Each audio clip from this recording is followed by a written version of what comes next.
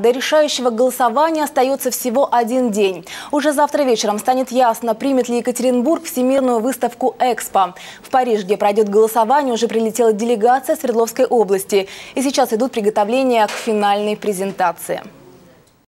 В течение последних дней большое количество встреч с послами государств, которые будут принимать участие э, в голосовании. Еще раз обсуждаем э, те позиции, которые в свое время были согласованы с э, руководителями э, государства или руководителями правительства. Настрой на победу существует, никто не выходит на э, игру, не веря в свои силы. Поэтому мы тоже верим в то, что работа, которая была проделана заявочным комитетом, правительством, что эта работа должна принести свои результаты.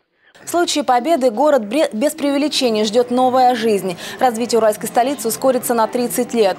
Это не только новые развязки, дороги, но и жилье эконом-класса, которое после выставки останется горожанам.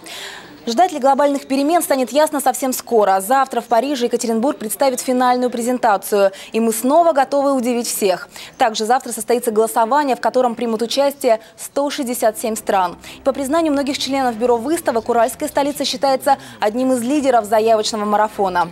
Напомню, за право проводить у себя всемирную выставку, помимо нашего города, борется турецкий Измир, бразильский Сан-Пауло и столица Арабских Эмиратов Дубай.